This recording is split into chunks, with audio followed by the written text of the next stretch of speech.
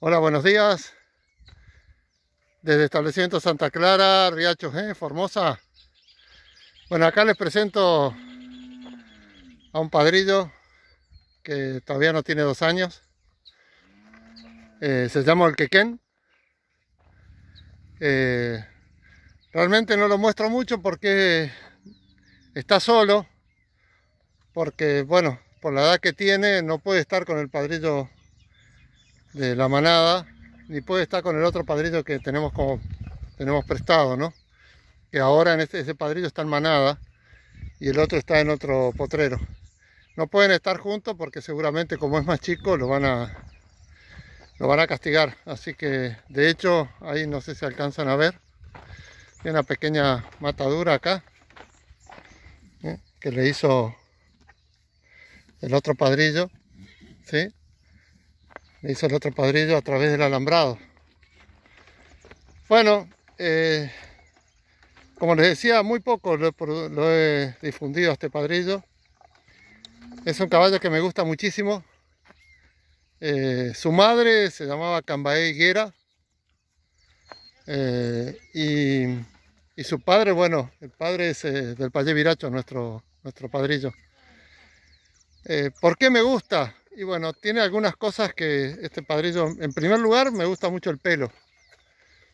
Pero entiendo por cómo era la madre y cómo es el padre, va a ser un, caballo lindo y de una alzada importante.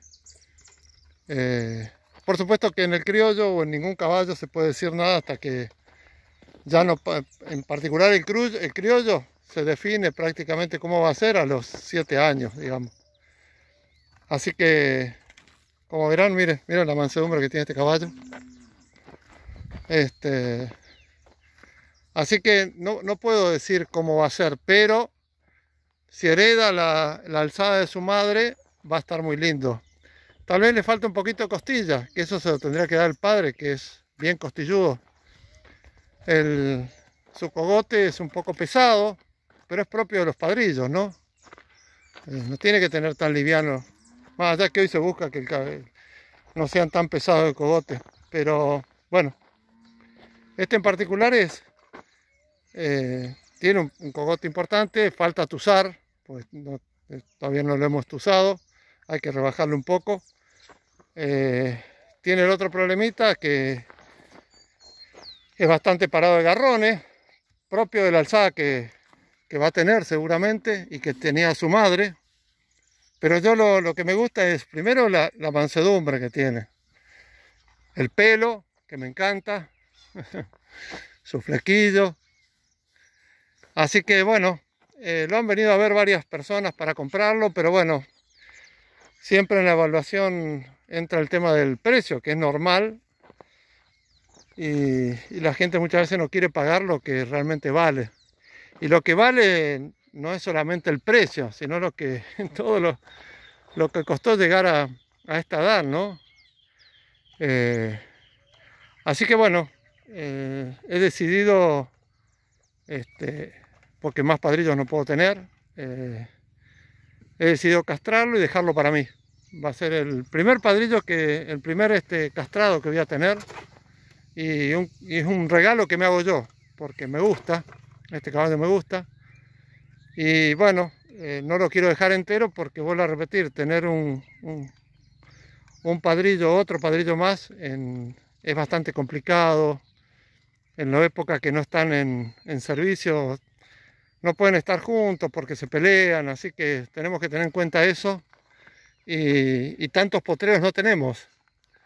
Eh, así que lo vamos a castrar y me lo voy a dejar para mí.